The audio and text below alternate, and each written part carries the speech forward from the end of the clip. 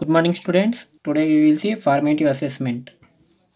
In this first bit Uttar do means answer the following questions. Okay now see first question. highland के लोगों ने डैक्स क्यों बनाया highland लो डैक्स हिंदू के highland लो उड़े वालू right answer समुद्र के पानी से बचने के लिए highland के लोगों ने डैक्स बनाया समुद्र के पानी से बचने के लिए हाईलैंड के लोगों ने डैक्स बनाया okay now see second question Peter ने क्या देखा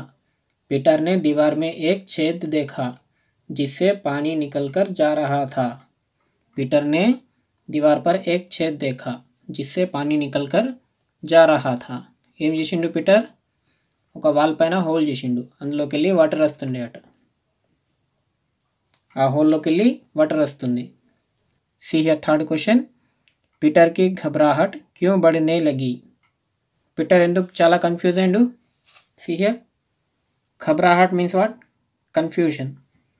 పీటర్ ఎందుకు చాలా కన్ఫ్యూజ్ అయిండు पीटर की घबराहट बढ़ने लगी क्योंकि लगातार पानी निकल रहा था सहायता करने कोई वहाँ नहीं था పీటర్ ఎందుకు చాలా కన్ఫ్యూజ్ అయిందట ఆ హోల్లోకి వెళ్ళి వాటర్ ఎక్కువ వస్తుందట ఇంకా అక్కడ హెల్ప్ చేయడానికి ఎవరు లేకుండే అట అందుకోసమే పీటర్ చాలా కన్ఫ్యూజ్ అయిందట and next see hey fourth question పీటర్నే pani కైసే రోకా Peter ఆ వాటర్ని ఎట్లా ఆపిండు अपने हाथ से पीटर ने पानी को रोका अपने हाथ से पीटर ने पानी को रोका पीटर ఎట్లా ఆపిండు వాటర్ని చేతితోటి next see hey fifth question Peter की प्रशंसा क्यों की गई